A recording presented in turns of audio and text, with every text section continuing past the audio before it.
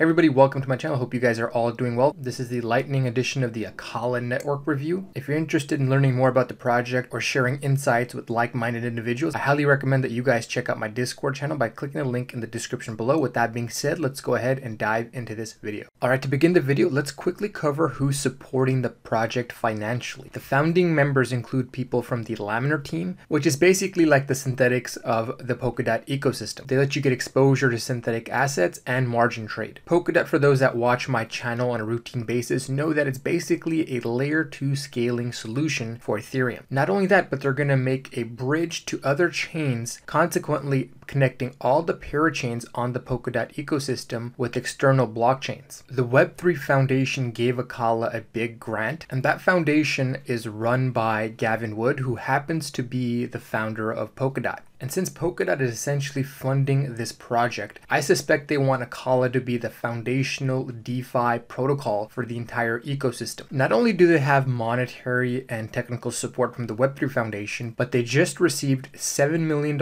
in a Series A through a simple agreement for future token sale. This round was led by Pantera Capital, with participation from several investors, including Digital Currency Group, One Confirmation, Arrington XRP Capital, Polychain Capital, Autonomy, and CMS Holdings, among others. And even if we just look at Pantera alone, you can see that they've invested a lot into this space. They've invested into large and reputable companies. We've all seen a LEND token go up 100x over the last three to four months. And part of the reason why they went up so much was because VC was buying their token. You can see here that ParaFi invested 4.5 million, Framework Ventures and Three Arrows Capital invested 3 million into Aave. The important thing to understand here is that the team isn't just getting money from these organizations and VC firms, they're also getting access to their network. Getting capital and getting access to a broad network work synergistically. They'll get money for development, and on top of that, they'll be able to accelerate their growth by tapping into broad networks.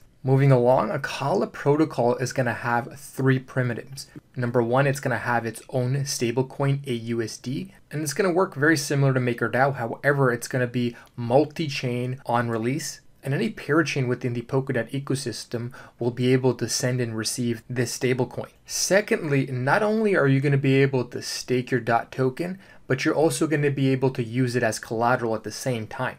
The net result, you'll be able to earn passive income by staking your DOT tokens. Then you can proceed to take your LDOT and use it as collateral to mint AUSD. Lastly, they're going to build a DEX similar to Uniswap. This way users can enjoy instant token swaps while token holders can provide liquidity into the pool to earn exchange fees, plus an additional reward to almost guarantee their yield. The added benefit to having a DEX integrated into this protocol, rather than being obligated to pay fees in DOT or Acala, you'll have flexibility in terms of choosing the asset that you pay fees in. On top of that, if you provide collateral and there's a liquidation event, you're more likely to get the best rate. To end the video, I'm going to share with you guys my thoughts on the project. Ever since Polkadot made its way into the top 10, I've been very rigorously researching Polkadot related projects because I think Polkadot is a big player that's here to stay. Out of all the layer 2 scaling solutions for Ethereum, I think Polkadot is the most promising.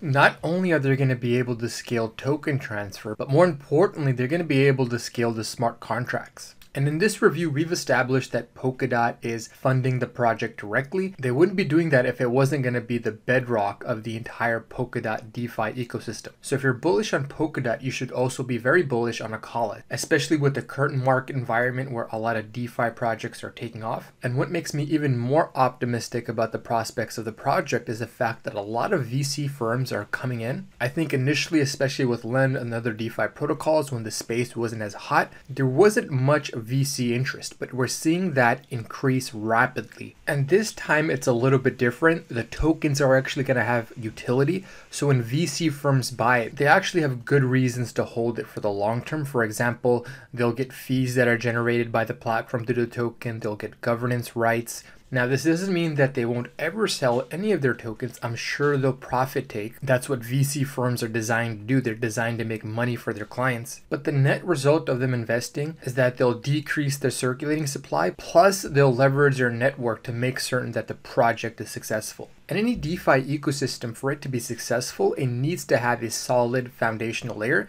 and that usually consists of a stablecoin protocol. Ethereum has DAI, and Polkadot is likely to have AUSD. This means as the entire Polkadot ecosystem grows, so will Acala. And recently I read this piece on Kilt, and it appears it's going to be responsible for onboarding institutional clients. If that happens, the demand for AUSD, in my opinion, is going to go through the roof. So because of the reasons I just outlined, I'm very bullish on the project. They haven't had their public sale, but me and my community are keeping an eye on it.